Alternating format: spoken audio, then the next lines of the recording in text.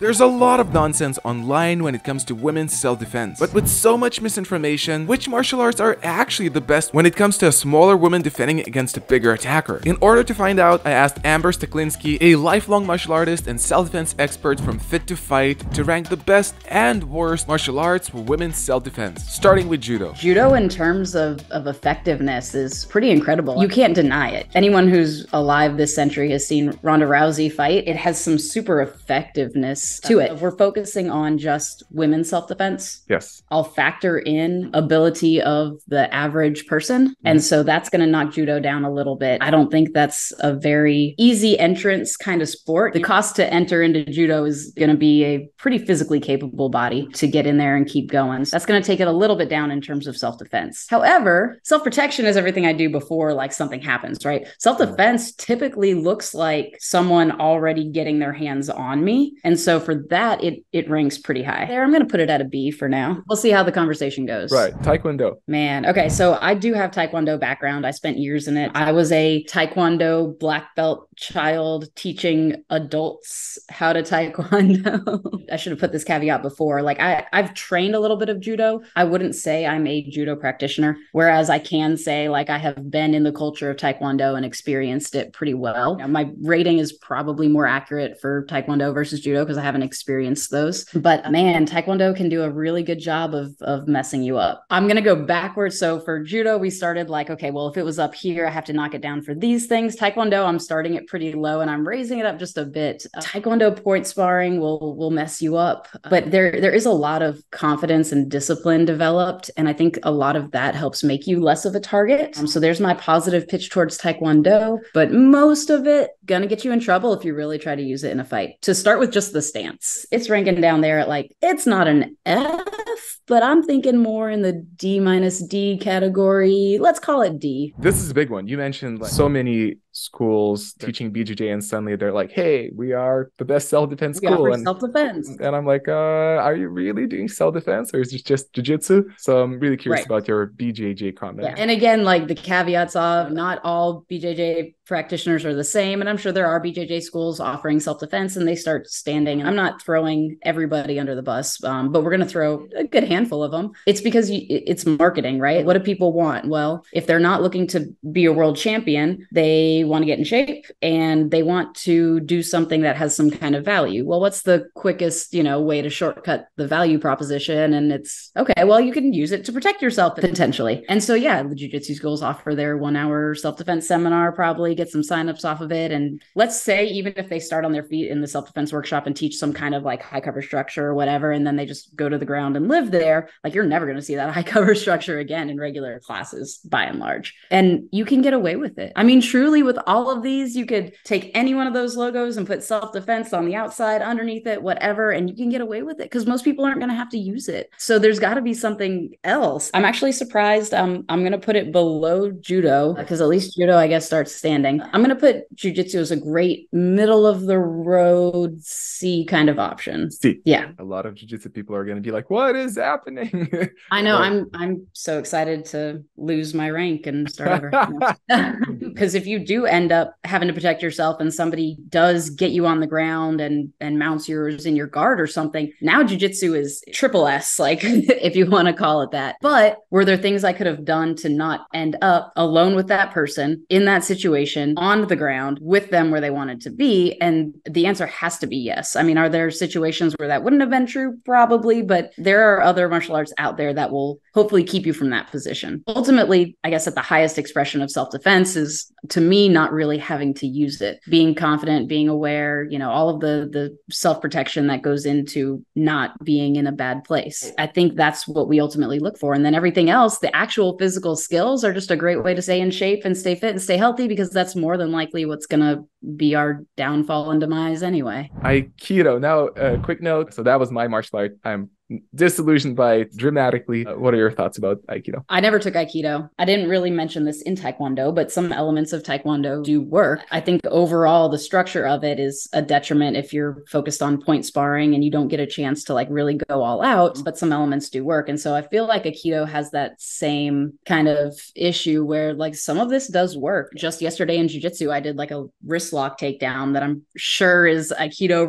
related. Would it have worked if I tried it again a second time on that same person? No, absolutely not. Now she knows like yeah. I'm not getting away with that. But it's it's not that these things don't work. It's whether the average person training at whatever amount they can fit within their life is going to have a more safer experience in life because of it. Aikido for me, let's throw it with Taekwondo in the D category. Like mm. it's got some stuff, but it, it, can also it looks so soft in practice. It is. Yeah, it's super soft. Yeah. I would easily give it even like less of a score than D. Some movements you can make them functional, but the mm. Training methodology is so as you called it soft. Feels like, oh, one day we're gonna go hard. And you never do. And then yeah. when reality when reality hits you, and I've been uh, attacked multiple times, it just doesn't click. Like there's such a huge difference between what you experience in the dojo and what you experience yeah. in reality that the brain just doesn't connect the dots. We have people that come into the gyms all the time and they've never done anything and they'll tell me about whatever happened to them and they want to know if they did the right thing. And I'm like, you're here and alive. Yeah, you did. Like absolutely 100%. Are there better things you could have maybe done. I don't know. I, will never be in that exact situation. You know, we can't sit here and, and Monday quarterback it, but you you survived. So yes, you did the right thing. This is a capoeira guy. There was a capoeira school on my way from my house to my high school and mm. we passed it every day. And I was always like, that would be so cool and fun and so interesting. We never went in, and I always wanted to try it uh, again. So we have to look at the general population. Can they do that? Probably not. It does stay standing. We can give it that, I suppose. In my experience, which is very little just internet research, watching it, I, it doesn't deal with a lot of the self protection aspects. It's literally supposed to be disguised self defense training, which I feel like is kind of like we're going to build a house but we're going to build it without the right tools for the job just in case we don't have the right tools and so it, it's great and will make you feel pretty proud that you could build the house without the right tools but it's not a very sturdy house and didn't actually help you prepare to build a house in the future when you do have the right tools. So that's going to be low. Man i feel bad hitting anything at f so I, am going to pull the canadian card and keep it at a d minus. See i wonder if we're going to hit some f's. Now i'm curious. Traditional jiu-jitsu. I don't have a lot of experience with it. I do know there's a difference between Brazilian Jiu Jitsu and more kind of traditional Japanese Jiu Jitsu. I don't know enough other than to just kind of take a guess and throw it up there. I think it has a little bit more standing work than BJJ, and I'm going to give it some credit for not going all over the internet saying that it's a self defense organization. It teaches women self defense and stuff. So I'm, I'm going to put it at a B minus um, with very little reasoning, except uh, it looks it looks pretty imbalanced this way. This is a, a symbol of Jeet Kune Do. Yes, because I know people who do Jeet Kune Do, and I'm like, okay. And then I know who, who, people who do Jeet Kune Do, and I'm like, yeah, I I don't want to be anywhere near you uh, or mess with you at all. With that being my perception from somebody within the industry, there's some validity to it, but there is clearly some non-validity. I'm going to put that kind of low. I don't feel right putting it over Taekwondo and Aikido since I have an idea of what those mm-hmm. are. I'm going to throw it on that D column for me. I never tried Jeet Kune Do myself either, but it, it just seems the conversation always goes to like what you said. There are some schools which do pressure testing, and they're apparently pretty good. But then there's so many where they never do pressure test. A lot of fancy techniques, which is crazy because that's not what Bruce Lee was about. But even the no. ones which are functional, it sounds like that they are often they're doing too much. They're learning 20 different things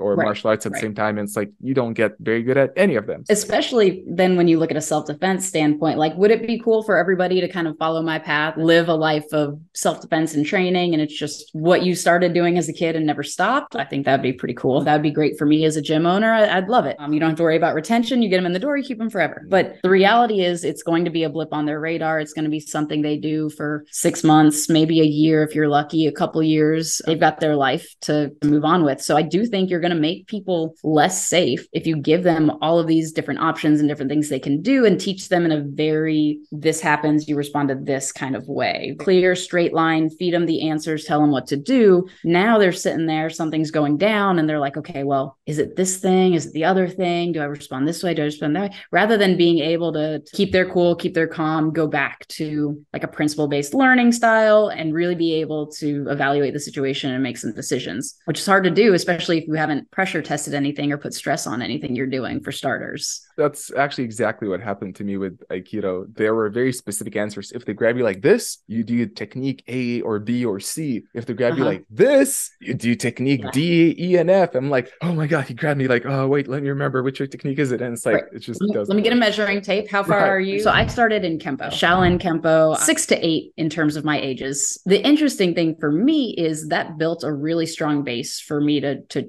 go throughout the rest of my training with because it, it taught me to be very precise precise and technical. And as a smaller person, that became so important for actually making these jujitsu techniques work against larger people. Like I learned to take in more detail, even than what the coach was giving me because of that. That's going to give a good amount of self defense that I'm going to push it up that scale for. And, you know, I'm biased. It is what it is. I would put Kempo closer to that B minus C range. I'm going to put it B minus because I don't know. I feel better about it than jujitsu some days. It has B-minus. a strong place in my heart as, you know, the first martial art I did. In the moment, did knowing knowing to put my foot at this slight tiny angle help my self defense? No, not at that moment. Like that wasn't going to be the make or break thing. But down the road, recognizing that my coach's foot isn't here, it's here, and realizing that helps me do you know, whatever comes next, that turned into a big deal. They get a little bit of uh, benefit from that. I also love that you mentioned about the confidence and attacker. They don't go for the, oh, this person looks like a badass. I'm going to attack that person. It's,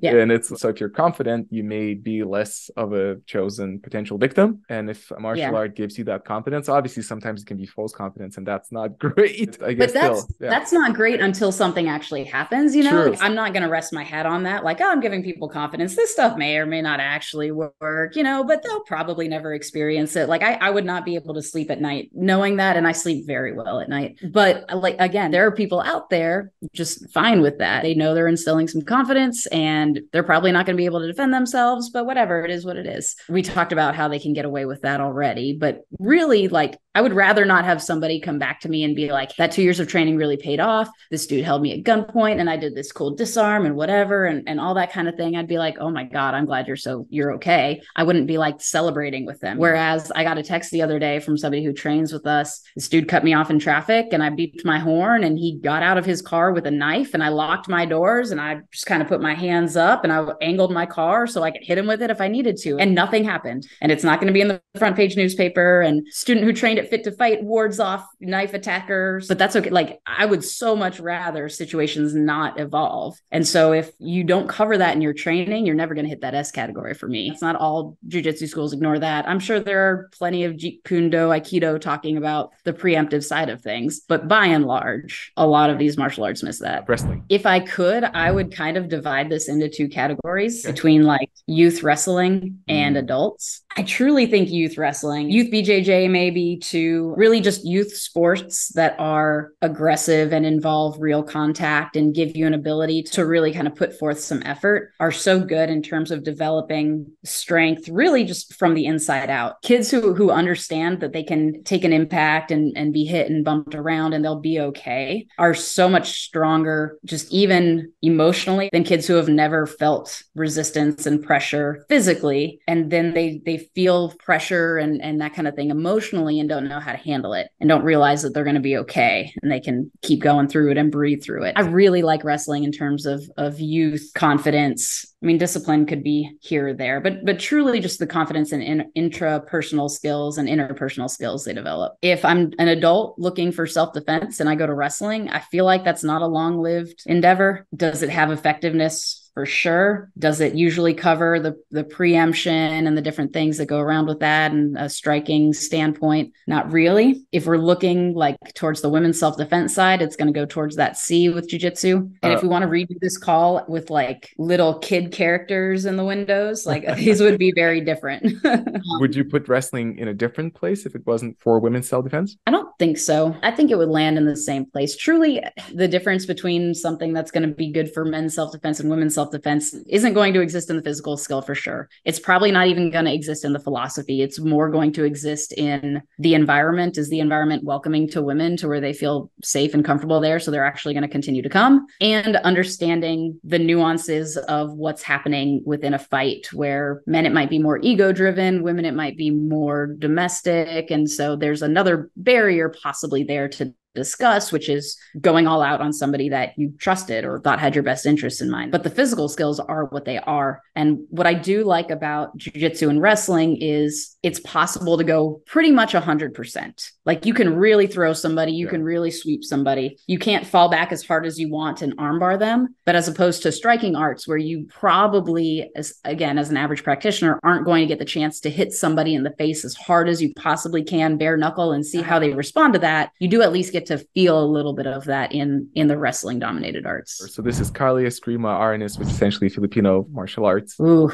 I feel like this one could be all across the board. You could probably put it in every category and be right. And I probably wouldn't have said that prior to meeting uh, Balintawak Arnis coach, Coach Bobby Taboada. Talking with him, he understands it and he gets it. And he's an Arnis instructor, but he's also been in some real life incidents and fights and understands the reality of what that looks like too. I'm not going to put that too high even though I do have experience with one that that's pretty high up there on the list. I do feel like for the most part, this kind of art does require a lot of time, kind of like with Aikido, like it requires a lot of time to really get good at it. And if you can get really good at it, definitely for sure, it's it's got some solid foundations. But if we're talking about mm. the average person and the average woman going into a self defense class, probably not super effective. I think if I had some experience with it, I might maybe put it higher. But since I'm just an outsider, I'm going to throw it in with the D realm realm. Right. Yep. Boxing. Yeah. Ooh. Have you been to a, like a real boxing gym? I'm actually that's my focus for the past year. Oh. I, I, love boxing. Okay. Uh, but awesome. I I'm also going to one which is they're considerate. They're looking at the science of it. They're making sure you're taking breaks if we're going harder for a while. They're smart. Cool. That's awesome.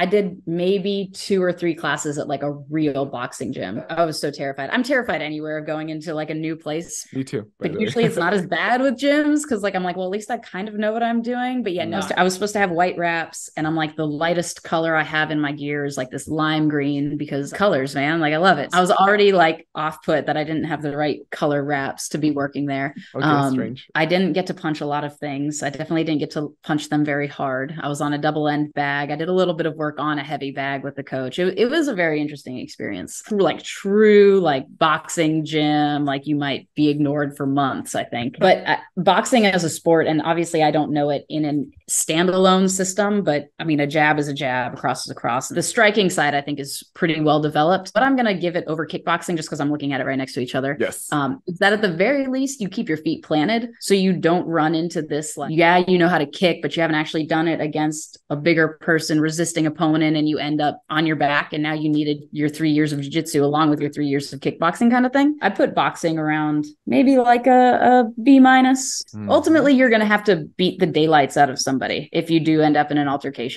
Yeah. Considering boxing doesn't co- cover like preemption, self protection, that kind of thing. The way you end fights are by taking somebody's consciousness or taking their willingness to fight. So either literally beating them into unconsciousness or beating them so bad they want to retreat, run away. What makes it a little bit, a little bit tougher to to finish that fight and get away, possibly. How does that lead into kickboxing? Not to mention the number of people that tell me they know kickboxing, um, and then I'm like, okay, cool, throw a jab, and they're like, what? And I'm like, you told me you did kickboxing, or they'll say boxing, whatever. And the proliferation of kickboxing for fitness, but but not being honest that it isn't kickboxing has done a detriment to that name. Um, I'm talking like heavy bag fitness classes, mm. CKO, that kind of stuff. So mm. people think they know something, but they really they don't. They, mm. Yes, they maybe have learned how to strike. They've learned how to punch enough that they're not hurting themselves with 12 ounce gloves on. I mean, it's something. But in terms of self defense, I think there's a, a pretty good risk of false confidence there. But kickboxing in and of itself, if I am actually working against a resisting opponent, there's solid things to it. I'd put it with the C category. Is kickboxing below boxing because of the reason you mentioned before, which is kicking in self defense is usually a dangerous thing to do? I wouldn't say it's usually a dangerous thing to do, but again, for the average practitioner, we're talking women's self defense, typically smaller than their aggressor. Like I,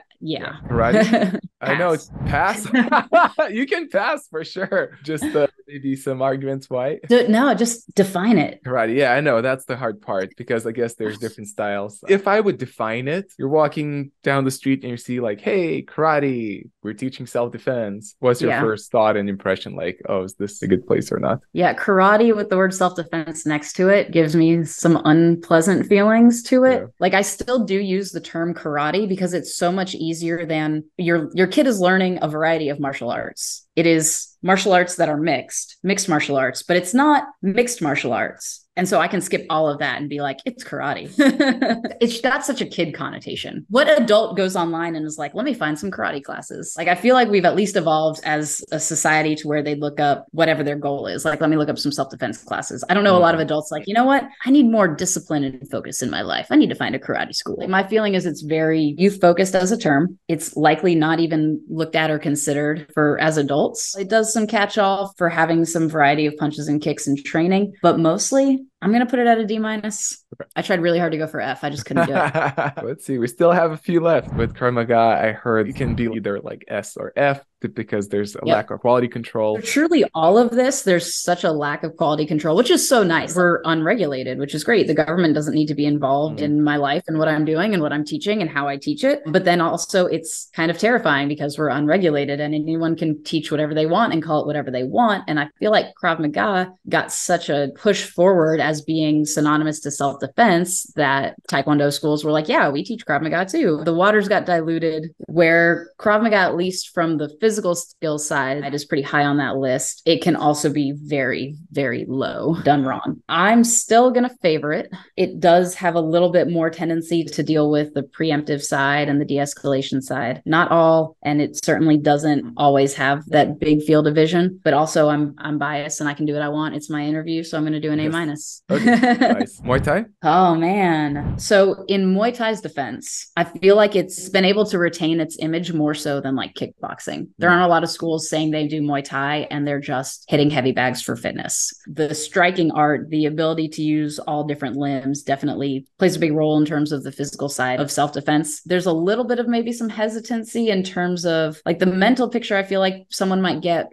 when you say Muay Thai is definitely a dude in short shorts, sweaty, bloodying people up. I think there's an image issue that maybe wouldn't attract women to it, but the art in and of itself, having self defense application is pretty solid. It misses a lot of the body wrestling that I think mm-hmm. is super important for self defense, but it does cover clinch, type controls. I'm going to put it at B. Conscious that MMA is not a martial art. There's also the argument that these days you can see a school which is like, we are an MMA gym. We're teaching MMA, yeah. which, you know, usually is a combination of specific things. So when yeah. you see a school being like MMA school, how good is that for women's self defense generally? I'm glad you phrased it that way because generally the term MMA would be be, be a pretty big uh, turnoff. I feel like it lends itself more to fighting for fighting's sake. We have fun bloodying each other up and choking each other unconscious. Not all schools, caveats, allegedly, allegedly, but the term. So, like with with Fit to Fight, we use the term modern Krav Maga, and in our marketing, we talk about how it incorporates Krav Maga and wrestling and Jiu Jitsu and looks at a, a well-rounded system. When I hear mixed martial arts, I think striking in jujitsu with the goal of punching somebody into the ground. I think using that that term, if you were trying to attract people for more self defense focus, is mostly going to be to a detriment. Obviously, the skills you develop are good for self defense, have validity, and are pressure tested on a very large screen. But the the term and the practice probably won't draw the crowd that we're talking about. I'm going to go ahead and send the internet after me. Let's put that one at F. Oh my Let's go for goodness! It. That'll be interesting for the comment section. Wing Chun. Mostly, I think about people hitting wooden arms on dummies. I took Kung Fu for about six months. That's not enough time to know anything about it, except that I do know for sure in six months at Kung Fu, you will not learn anything that's going to help you for self defense. I learned how to stay in a horse stance forever. I learned a really cool stance form that for some reason is stuck in my mind and I can still do to this day. And I learned how to do a kip up, surprisingly. So, in my limited experience, I would throw that down there with our MMA friends, but not all Kung Fu created equal. I don't think I did Wing Chun. To make it easy, let's say this is Kung Fu. Would that be an F? Yeah, Kung Fu's an F for me. Systema? No personal experience. I have nothing but poor thoughts and interactions based on the internet and what the internet serves me. It seems like a horrible way to learn self defense and a, a, great way to get yourself in trouble. I would put that down there in the F column too. Yeah. Not all Systema, of course, but I, I, can't, in good consciousness, put it any higher than that. Does Sambo bring up any thoughts? Uh, I have experience with somebody who was a combat Sambo sambo black belts and that is my only experience and that person is not one to be trifled with. But also the general population is not like him. They just again the mindset of savageness i guess when it comes mm. to to fighting somebody is just very different. So basically i'm going to say no. I, I really don't have any kind of training or experience in it. I would think it falls into c with kind of bjj wrestling kickboxing. I could be wrong. Gunjitsu uh we're going to call it f. Really it f. oh yeah. my goodness yeah. you just you just uh, really surprised me. in one word larping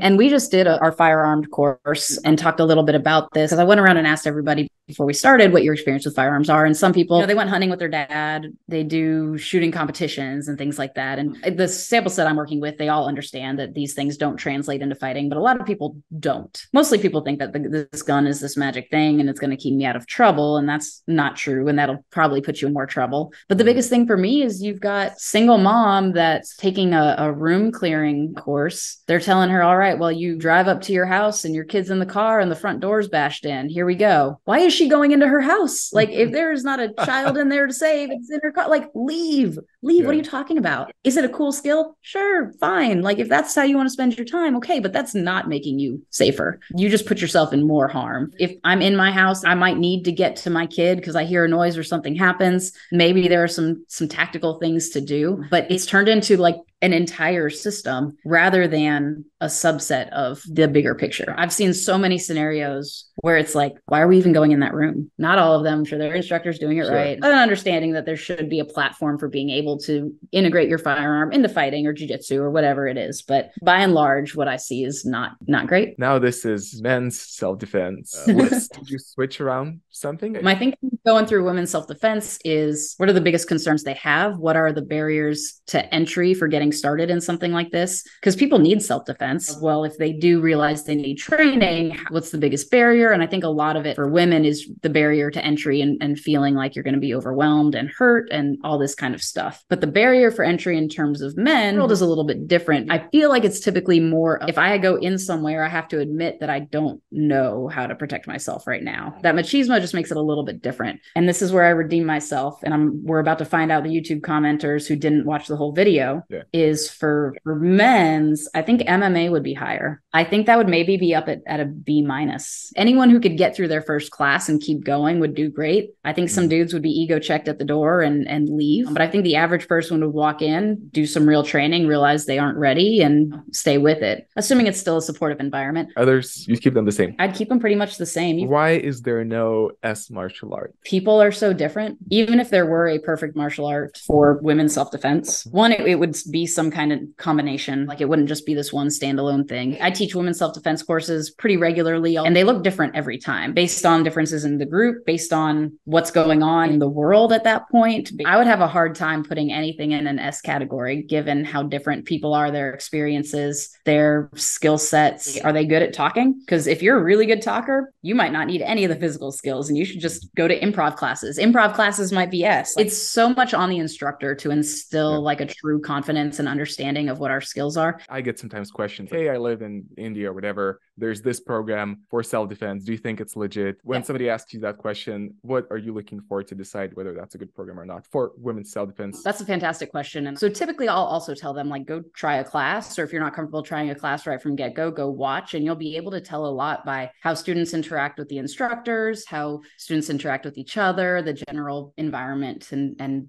uh, vibe, as the kids say, um, that you get from being there and being around people, with the understanding that it's incredibly uncomfortable. You're going to be nervous. It's you're not going to walk in and just feel at home, probably, um, and that's okay. But you want to see how the interactions are going and if you're comfortable with them. But for me, when I get that list back of like, well, here are three or four places I'm looking at, I usually go to their social media first, typically Instagram, and I take a look at the pictures they're posting. If it's all stock photos, I'm less interested. Hopefully, and typically, it's photos of people actually actually working and training in their facility. So I'm looking to see is there diversity in what they're doing? Do people look like they're enjoying themselves and having fun? Are there women in their photos? Are there women partnered with other women? Are there women partnered with men? Just as kind of a quick look, not that you have to be social media expert to run your school, but if you're just kind of posting things on the day to day, those are some of the things that the public should be able to see and look at easily. So that's one quick way to kind of get a mm. feel for it. Where can people find more information about you? Fit2Fight.com. If they reach out there, there, they will get to me. Uh-huh. One of my next seminars I'm doing is at our Fit to Fight Coach Camp in November here in Charlotte. My segment is on drills for skills and thrills, and I deal a lot with drills that give a your students a realistic understanding of what their abilities are, and they don't build false confidence or completely ruin them in that time. You can find me on Instagram or Facebook at Amber Thighs, but yeah, you'll find me at Fit to Fight. All contact forms will get to me. If you want to see the best martial arts ranked by pro MMA fighter, click on this video right here. And until next time, keep owning your journey.